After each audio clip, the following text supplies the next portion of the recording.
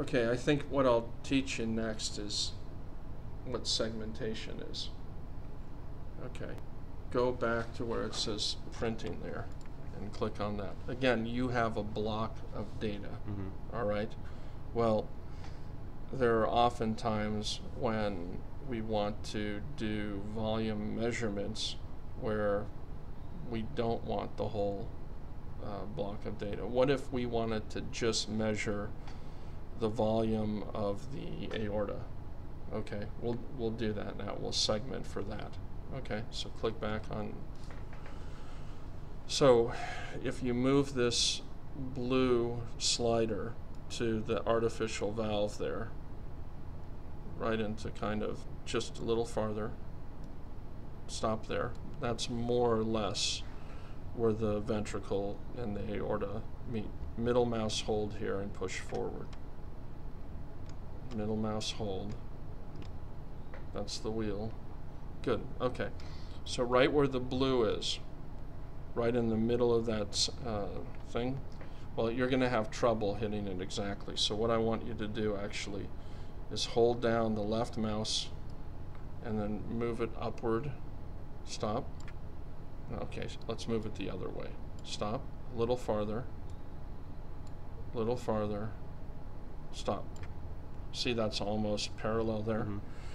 Hold down Alt and click right on in the middle of the blue circle. Now hold down the middle mouse, let go of Alt. Just hold down the middle mouse button and push forward. Okay, stop. And now rotate it a little bit again. Left mouse hold. Mm, I don't know what you did there. You double clicked or something. So you want a middle mouse hold and pull it down a little bit.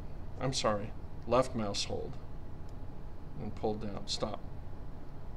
More or less.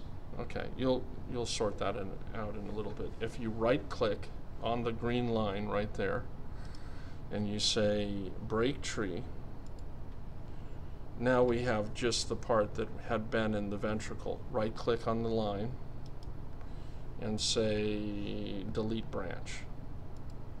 So now we have just the aorta, okay?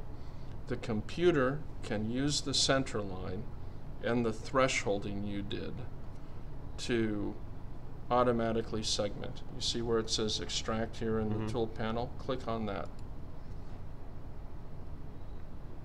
Okay, so now we have the aorta that was, you know, within the field of view. I'm going to take over the mouse just in the interest of time here, real quick.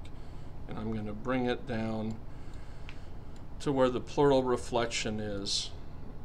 You know, the, the diaphragmatic hiatus is cone shaped, it's not a circle. So we have to kind of arbitrarily decide where the thoracic aorta ends and the abdominal one begins, and people will alternatively do the celiac axis origin or the reflection of the pleura.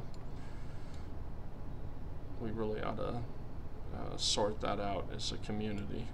Anyway, we'll we'll say it's here. Here, let's delete that. I right did a right click and hide for that measurement. I'm going to right click here, break tree, click on this piece we don't want. Plaque analysis we'll get into a different time. Why is it not? There we go. I'm going to say delete branch. So now we have just the part we want. Hit extract again. Okay, so we have just the thoracic aorta now. Just its lumen. Right click on it. And then come down to, wait, nope. Right click somewhere else, anywhere. Go measurement, and then come to volume. Just say, do not show this, and hit OK. That's the true volume by voxel counting of this segmentation Wow, that you okay. did. So you actually know now, kind of in general, what the volume of a thoracic aorta is. It's about 240 cc's. Most people don't know that. Yeah. Now you have this special knowledge, Huh. all because of the power of segmentation.